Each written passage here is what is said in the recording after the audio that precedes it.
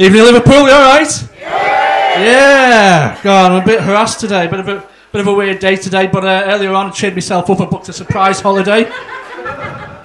Yeah, surprise holiday. I'm uh, really looking forward to it. I'm getting excited already. Getting feeling really good about it and thinking about the look on my wife and little boys' faces when they find out where we've gone. oh yeah. Oh, it's brilliant. Because uh, it's a bit tight, really, because my little boy's not been well recently and um, he wouldn't take his medicine. So I remember, right, we recently got a dog. So I thought, with the dog, when he needs medicine, we put his medicine in the food. So I did that with my little boy and he took his medicine and he's so much better now. And do you know what? He fucking loves pedigree chum. Oh, you should see him. Oh, he's bounding about all over the place. His hair's nice and shiny. His eyes are full of life. Just needs to stop dragging his ass across the carpet. Bit of a problem, but uh, yeah, we have got a dog, and uh, our dog's really, really fucking embarrassing. Whenever anyone comes round, right, he's always harassing them and sniffing at the crotch. And the worst thing is, he's only a chihuahua, so I have to lift him up. fucking weird, but um, yeah, a bit of a crazy time recently for me. I actually lost my job. Yeah, lost my day job.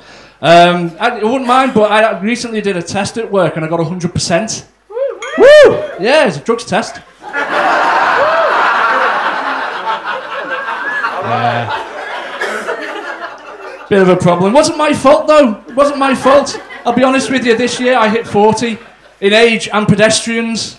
Um, yeah, um, wasn't my fault. It was my birthday, right? And when I turned 40, my missus said to me, It's your big birthday, Neil, what should I get you? I said, You know what? I fancy a new iPad. You get me an iPad? She goes, Yeah, okay, I'll, go, I'll get you an iPad. So anyway, I wake up on my birthday morning and I open all my presents and I get to hers and she hadn't got me an iPad at all. She got me a tablet. It was cyanide. Only joking, it was LSD. So there I was. I was stood on the top of Runcorn Bridge with a cake tin on each foot and a baguette under each arm. I'm looking down the bridge and Kriss Akabusi's down there going, You can do it, Neil! You can do it, Neil! You can do it, Neil! I turned round and my dad's there with a bacon butty and he says, I'll put red sauce on it, Neil. I said, Alright. So I was like, Yeah, fine, Dad, no worries. So I looked back down and then, then I took the LSD. and that's when I lost my job. Yes. Oh, but um, it's, it's, it's fun really because um, I'm a married man now. I've been married 12 years this year. Woo! Yeah, I don't know what the fuck I'm doing right, but hey, the appraisals are going well, which, which helps. But uh, we're at that point now where it's difficult to keep that spark alive in the bedroom. Are we familiar with this? You know, yeah, you have to keep trying things, try different things. You know, like maybe dress up, wear a schoolgirl outfit, maybe stockings, suspenders. Yeah, sometimes she might wear them as well which is great. But um, yeah, but I'm, I'm not going to talk about me anymore. I want to know about you, Liverpool. Let's do a quick survey with you guys tonight. Well, well, you let me know, right? You guys in the room tonight. How many of you out there have a knobhead neighbour? Yeah. Woo! Yeah. Anyone not say they have? Bad news, you are the knobhead neighbour. Yeah, the knobhead neighbour, for those of you who don't know, is always that one. If you're outside your place doing a job right, in my instance, right, I was cleaning the car, and you always say that same knobhead thing when you walk past you and you're doing something. I was cleaning the car, and she walks past and sees me doing that, and she goes, "Ha ha! You can do mine next!" Ha ha ha! And fucking walks on. I thought you knobhead. I'm gonna get you back. And you know what? Yesterday my chance came to get her back. It was brilliant. The postman came with a parcel for them, but they weren't in. So I thought, right, good neighbour Neil, I'm going to take it in for them. I'll drop it round later when they're home.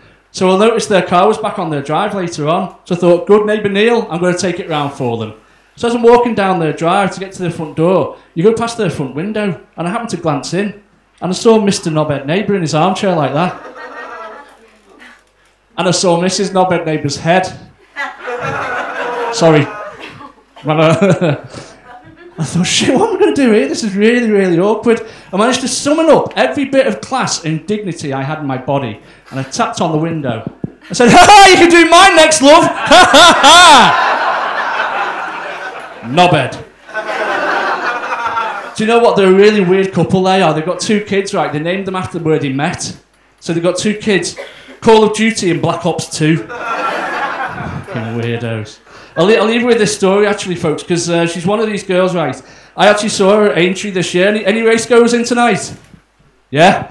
Brilliant. We all know what Ladies' Day is, though, don't we? Yeah, just let me get a drink. Yeah, for those who don't know what Ladies' Day is, right, she knows I'm going to talk about it, and that's why she's going. Ladies' Day is an excuse for all the local girls to go to the races one day, spend three grand on a dress that they can hitch up around the waist to have a piss in the urinal. you really got to be there. It's great, it's great. But I saw Mrs. Knobhead neighbour and two of her mates coming out of races uh, as I was waiting for my taxi. And uh, as I'm watching them, I can only think of one thing as I'm watching them going for this taxi. So cast your minds to Aintree, folks, and come along on this little trip with me. We all right for that? Yes. You join us here at Aintree, the 4:30 taxi chase coming to you live. It's a lovely day, dry uh, ground and everything, and everyone's had a good time. We're just waiting for the first entrance to come through the door. Here she is, the first runner in the brown skin tone. Let's call this one. Let's call this one "Dress Your Age, Love." and the second one coming through the, gra- the, uh, the gate here in the orange skin tone. Let's call this one "Tits Too Big for Dress."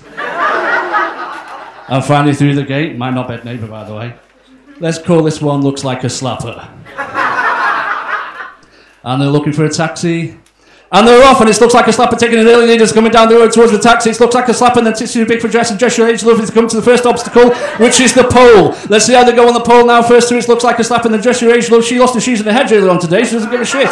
It's dress your age love, and looks like a slapper, and tits too big for dress. And first away it's dress your age love, moving down the road, and it's dress your age love. Looks like a slapper, and tits too big for dress as they come to the next obstacle, which is the grid. Let's see how they go over the grid now. First over the grid there is dress your age love, then tits too big for dress, and looks like a slapper as they come down the road. It looks like a slapper's fallen. Looks like a slapper's fallen. There's tits and minge everywhere, but they're carrying on. And dress your age love and big for dress coming to the final obstacle, which is the curb. Let's see how they go over the curb now, safely over. It's your age love. She's got no shoes on, remember. Dress your age love safely over the curb, and tits too big for dress. And first to the taxi there is tits too big for dress. Then dress your age love, and further back down the field, getting fingered by the bloke by the burger van, is looks like a slapper. Folks, that's me for tonight. Thanks for uh, having some time with me. Enjoy the rest of the evening. Good night.